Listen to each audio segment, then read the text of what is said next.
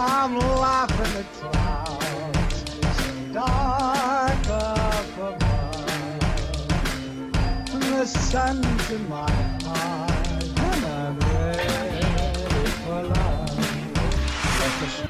everybody! So today I'm doing my May favorites video. This is going to be a short video because um, I haven't really messed with a lot of products this month, but I am going to tell you what my favorites are.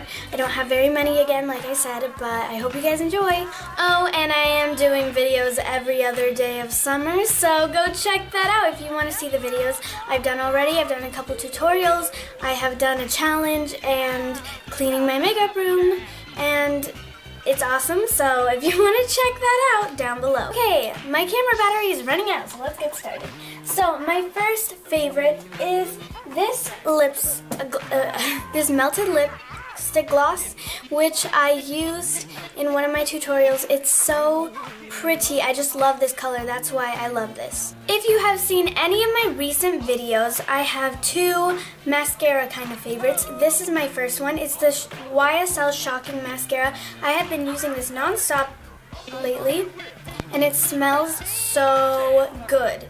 And the packaging is so pretty. It's so sleek. It's gold. Everything. My next mascara favorite is this Cils Booster.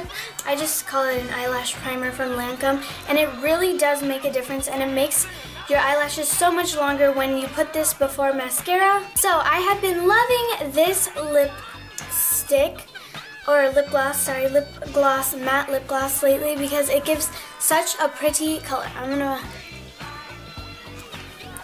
I love this color. And yes, I really, I just really love this color. It's NYX and it's a soft matte lip cream. So go check this out, go buy it. It's in the shade Ibiza. The next thing I have been loving is this brush from my friend Milan. So shout out to you girl. This brush is amazing.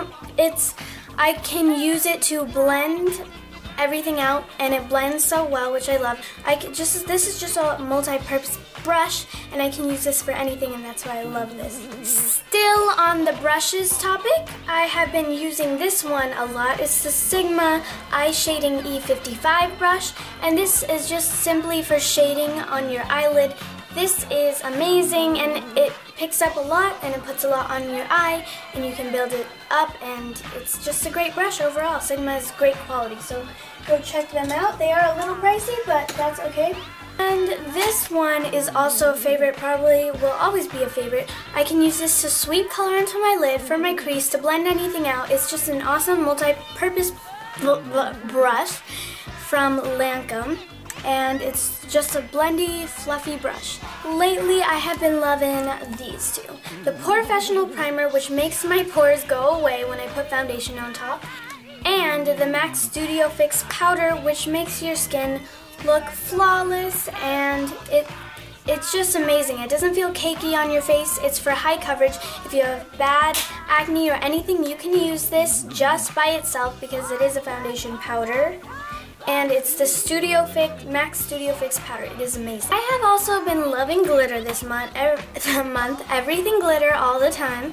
And so this has been a favorite lately. This is my MAC glitter palette and it's a pressed pigment palette. So you know these little um, glitter pigments from MAC?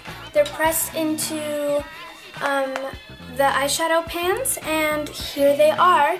And I got this from Makeup by Melly at Instagram so I'll leave her name, Instagram name down below so you can go check her out and get yourself one of these um, pressed pigment palettes. These are amazing. Been loving two scents this month. The first one is the Pink Sugar scent for your hair smells so good. The next scent I've been loving is Coconut Lime Breeze by Bath & Body Works. It just smells so good and so fresh. Okay, the next two are skincare products, and these are my two last favorites. The first one is the St. Ives Scrub. This is my second tube of it, I guess, tube, bottle, I don't know. And it is amazing.